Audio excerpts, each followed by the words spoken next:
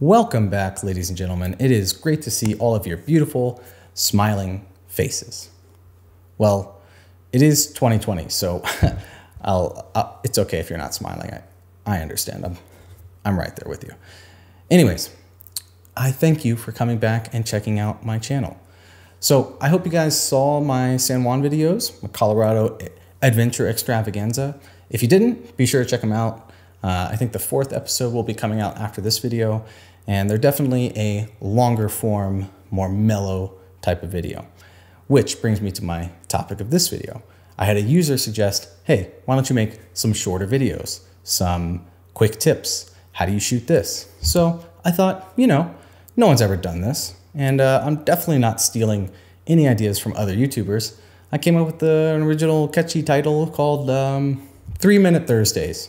So the idea is that I'm going to teach you something in less than three minutes, and I'm going to try to stick to it. Might not be every Thursday, but we're definitely going to try. So let's get going.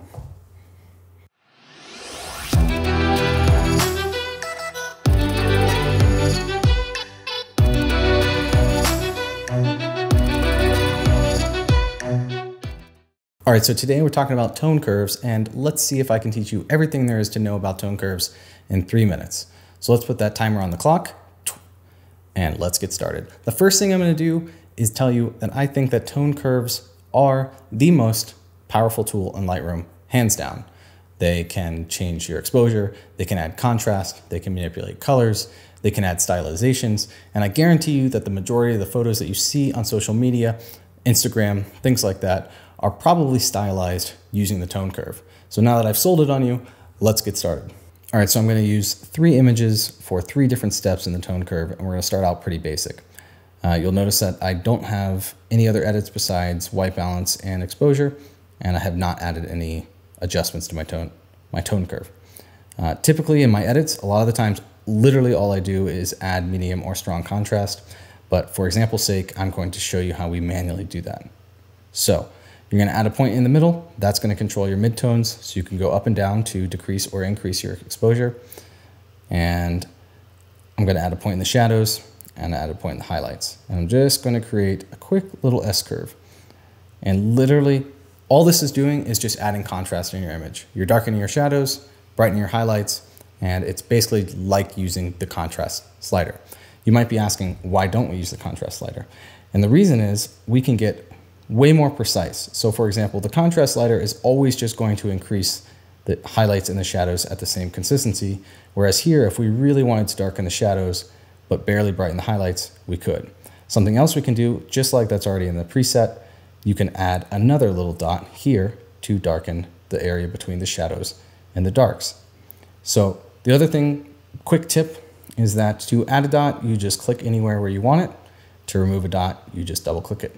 That's the first part of the tone curve.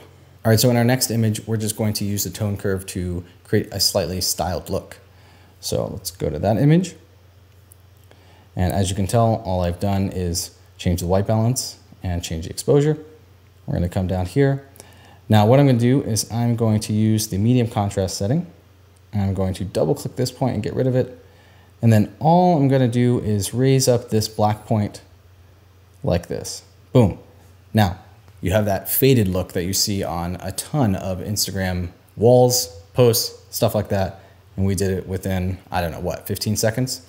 Uh, you might want to also add a point back in to kind of bring some of the blacks back down, but you still have that faded look.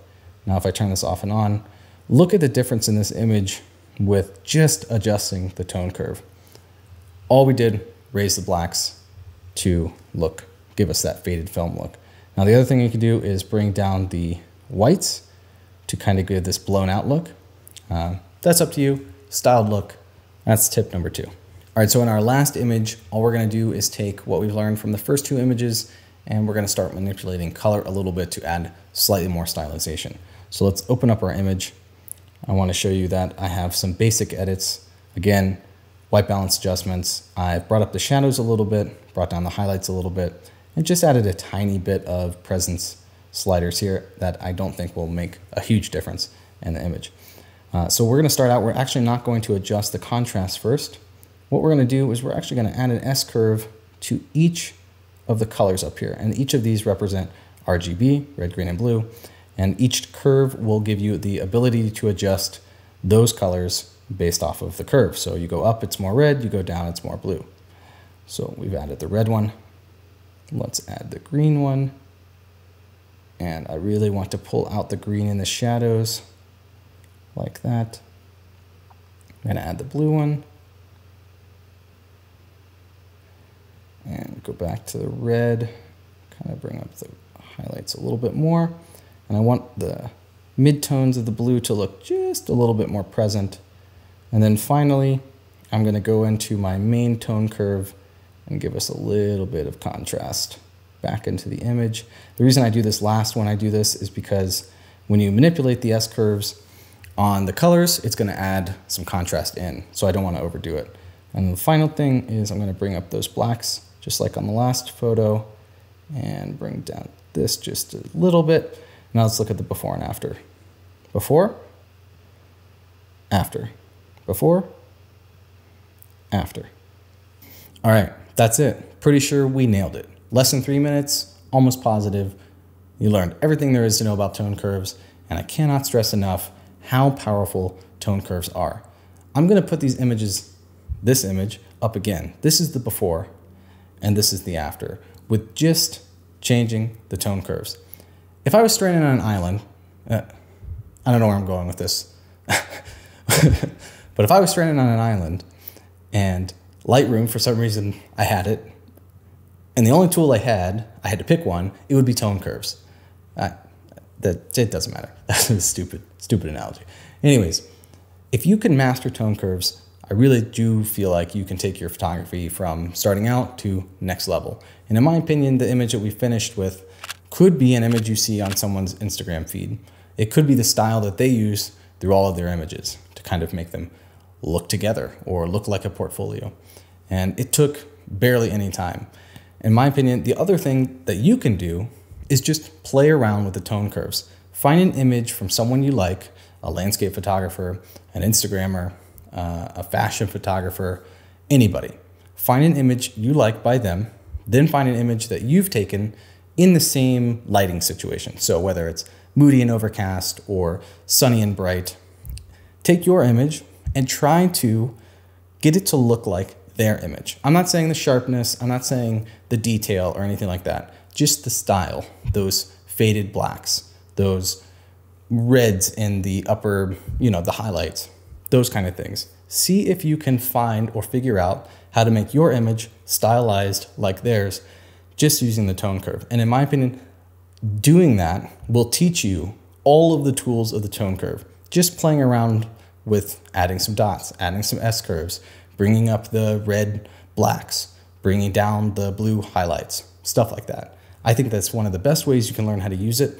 And it's one of the ways I learned how to use it years ago, and I cannot recommend it enough. All right, so thank you guys for watching. I would love to hear your feedback down below. I'm still pretty new to this, but I will try to keep up with at least making one of these videos every other Thursday amongst all of my location photography videos, which if you haven't checked out, you should definitely get subscribed and I'll be releasing those in the future. Also, if you wouldn't mind just, you know, gently tapping that like button. It's still pretty new here, kind of sensitive, a little shy. I'd like that too. Thank you for watching. Hope you guys enjoyed. See you again next time.